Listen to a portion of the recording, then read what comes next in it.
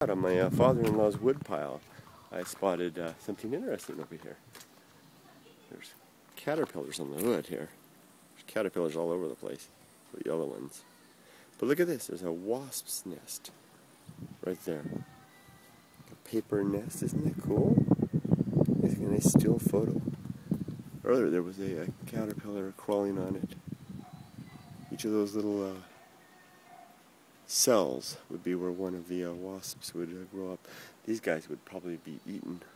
Uh, some some of the wasps. I don't know if this particular species would eat caterpillars, but some of them will. They don't eat them themselves. They bring them back and give them to their uh, larvae.